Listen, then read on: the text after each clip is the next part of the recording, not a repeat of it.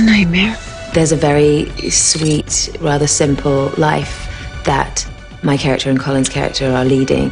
Well, I know this isn't exactly what we had in mind when we were younger, but This castle. But something is up, something is missing. Hey, what do you know about recall? Do yourself a favor, Doug. Stay away from them. Don't mess with your mind, man. Welcome to Recall. First time? The technology is being created that you can have this serum put through your veins and your mind can be manipulated to the point where you take two weeks of memories with you after an hour in this office. Tell us your fantasy.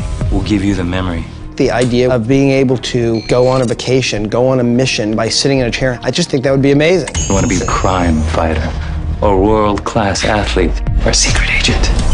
The look communicates sin. Still sketchy. People have tried it, but it's a little bit dangerous. Happy trails, man. He goes there and he fractures, he breaks.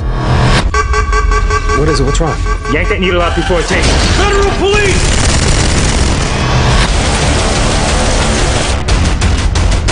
The mystery is about the character himself. what did they do to you? I killed him. Didn't kill anyone, Doug.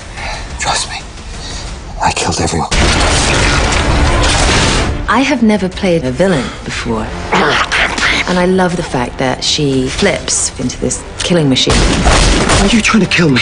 Your mind was implanted with a life you think you've lived. Our marriage. What can I say? I give good wife.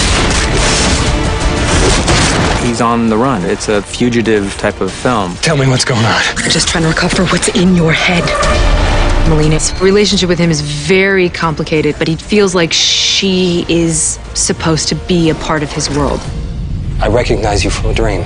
It wasn't a dream.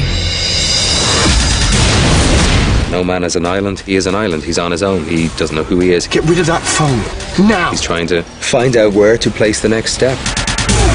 The central question of what's real and what isn't makes it a very fun movie. You don't have the most reliable of memories, do you?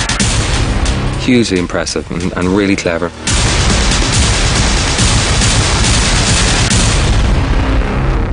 If I'm not me, then who the hell am I?